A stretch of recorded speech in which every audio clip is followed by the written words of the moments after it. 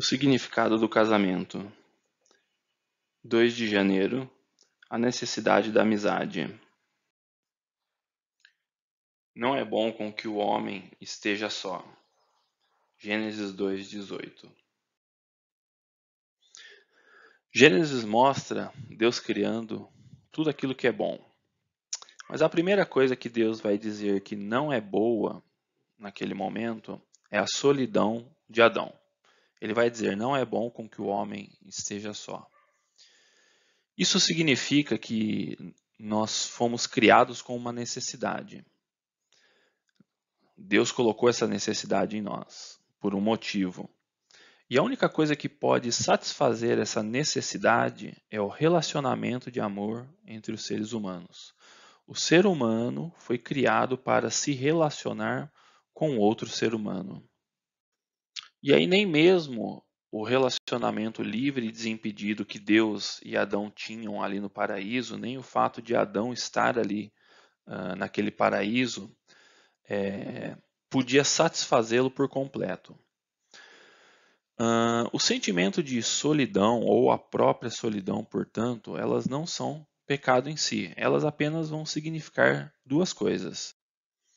A primeira, que embora uh, não seja necessário se casar, uma, a vida humana, para ela ser próspera e feliz, ela vai precisar de grandes amizades, ela vai precisar de relacionamentos. Uh, podemos notar isso na vida e no exemplo de Paulo e de Cristo. Eles foram dois homens que não se casaram, porém eles tiveram companheirismo e amizade durante a jornada deles.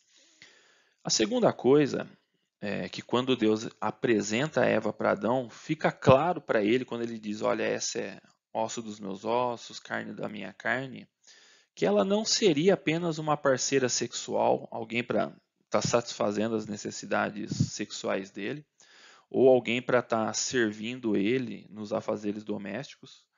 Nada disso, longe disso. Mas o que ele estava percebendo ali, e a, era a intenção de Deus, e ele estava percebendo que ela seria a amiga quem ele tanto ansiava e a amiga quem ele tanto precisava.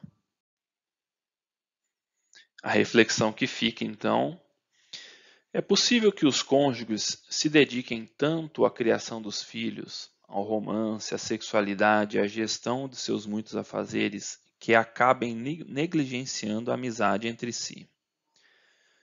Como vocês podem evitar isso? E o nosso modelo de oração, Senhor Jesus, Tu não és apenas o nosso verdadeiro cônjuge, mas também nosso maior amigo. Que nossos casamentos sejam plenos de verdade, do afeto e do compromisso fiel da amizade. Amém.